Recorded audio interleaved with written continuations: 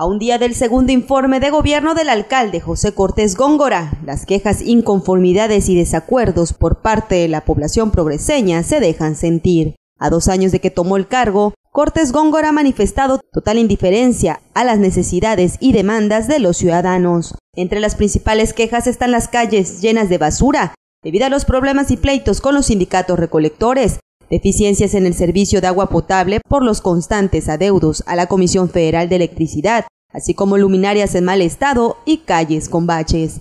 Durante su gobierno municipal, ha cesado a varios empleados, en su mayoría despidos injustificados, además de la controversia que se suscitó cuando impuso a la comisaria de Chelén, que es parte de su equipo.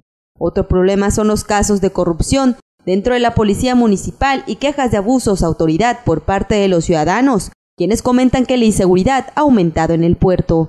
Otra gran queja es el abandono turístico del puerto, ya que se presta muy poca atención a las necesidades de los prestadores de servicios, como es el caso de los vendedores del tianguis o los vendedores ambulantes, quienes se quejan de la mala infraestructura y malos tratos por parte de los responsables de la recaudación fiscal. Para el deporte la situación es distinta, ya que los espacios deportivos están en deterioro y las pocas mejoras que se han hecho se han dejado a medias y no se han concluido. Con imágenes e información de David Correa, Notivisión.